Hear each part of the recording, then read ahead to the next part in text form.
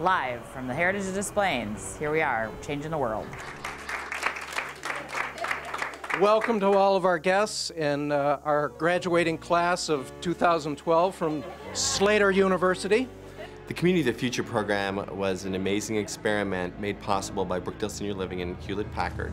HP donated 30 Slate computers and we tested whether Brookdale Senior Living residents at the Heritage Des Plaines community would learn how to use these indi individual devices, take them up to their rooms, and how that would impact their socialization, their life in the community, and their outlook on life itself. What we found was remarkable. Residents took their slates up to their room, they used them and logged into the Connected Living portal multiple times a day. We realized that technology can be a companion and a socializing factor. Uh, we started with 30 uh, residents in the program. Classes were taking place every single week, once a week, and they kept that up throughout the entire 90 days of the uh, program.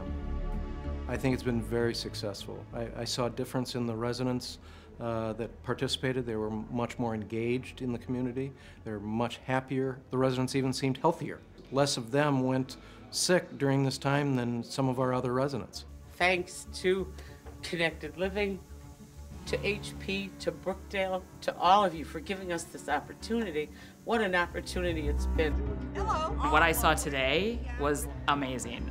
Tears of joy that their lives have been changed. It's a miracle. To me, the people are the most important part. Just like in any in anything, right? I mean, life is about relationships and how we how we live and and the way they do it, the relationships they build. The ambassadors that I saw today, they have a special gift.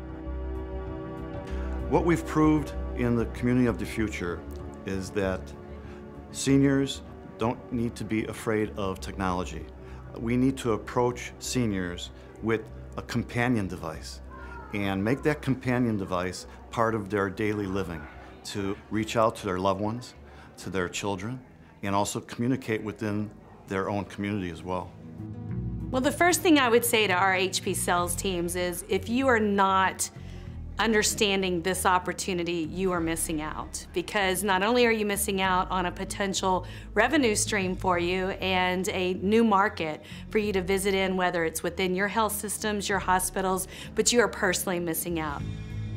This is an opportunity more so than probably anything I've seen in my 10 years of HP, of us making a huge impact in the community and being part of something that no other company is doing today. It's been amazing to work with HP. Every single person that we've interacted with, from the most senior levels with Matt and Rob to everyone in the organization, I think shares the same vision.